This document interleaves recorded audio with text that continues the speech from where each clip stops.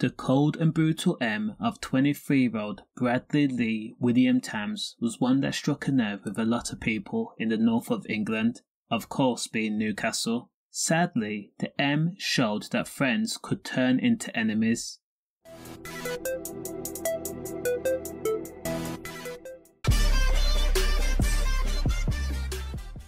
Just before midnight on the 6th of December of 2023, police had received over a dozen phone calls of terrified witnesses saying that a young man had been left in a state on Cartmel Green in Slatyford.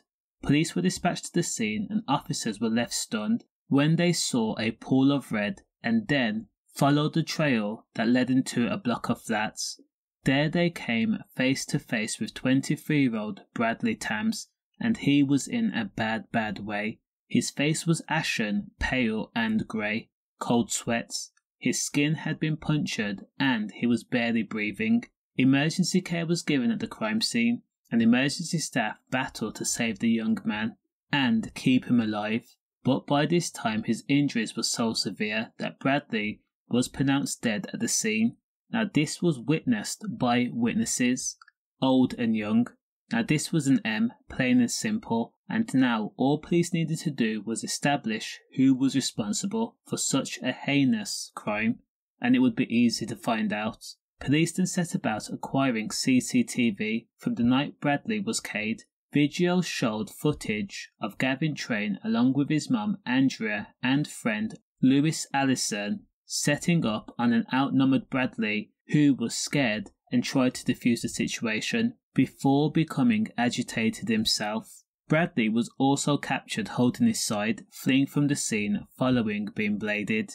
What police discovered next was the fact that Bradley was caged was no accident. Gavin had set out to do serious harm or even commit an M because Gavin wanted quote unquote retribution for a previous incident involving his brother.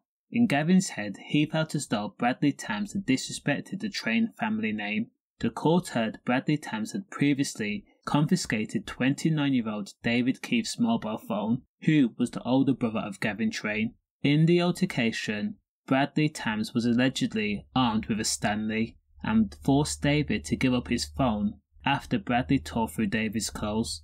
A bank card was also taken. Now, in the aftermath, Gavin Train had told everyone that he could think of that he would put Bradley in an early grave and the moment he sees Bradley, there was going to be a very real problem. In response, Bradley sent voice notes back, boasting that David had not defended himself, and also Bradley was bragging about how easy it was to take the mobile phone and the bank card off a 29 year old man. Bradley had even felt so confident that he was sending Gavin himself messages promising to hurt his family. On both parts, the promises were said to be nothing more than immature chatter and bluster. However, the more Bradley seemed to open his mouth and gloat and boast about his crime, the angrier Gavin Train became. After all, he was his brother and his family's keeper, so the fact that Bradley Tams felt so safe, so confident, so reassured that there could never be any retribution, Gavin needed to do something drastic. Now, Gavin was messaged by his sister Natalie Train on the night of the M to say that Bradley was getting a taxi to Slatyford. Immediately, Gavin texts his mum Andrea to tell her to go to Slatyford and keep Bradley Tams there until I arrive because I will put him in an early grave. Andrea responded by saying that she understood. So, on the 6th of December, Bradley Tams had taken a taxi from Kingston Park to the home of a mutual friend, Lewis Allison, and Gavin Train's sister. They left in the same taxi after going to McDonald's. Now, Gavin's sister knew Gavin had been looking for Bradley since at least the 2nd of December, and both Lewis and Natalie knew Gavin's intention. Now, on the way to Lewis's home, a Peugeot 206 driven by Andrew Train had pulled up behind the taxi. When the taxi stopped, Occupants of the Peugeot 206 had ran to the taxi and pulled Bradley from it. The men had covered their faces. Gavin, Andrea, and Lewis had all set upon Bradley. Bradley had said to the effect that there is nothing going to save you now. Lewis was said to have shouted at Bradley, but did not lay a hand on him. Now, a resident in a nearby flat who was watching TV heard a woman that sounded like Andrea shouting, just do him in, and mentioning a straightener. The witness also says that the woman sounded angry and as though she was frothing from the mouth, repeating again and again and again, just do him in, just do him in, just do him in. Bradley was outnumbered and petrified, pacing back and forth. At one point, he did shout at Andrea. During the incident, Bradley managed to leave the scene, but then he returned.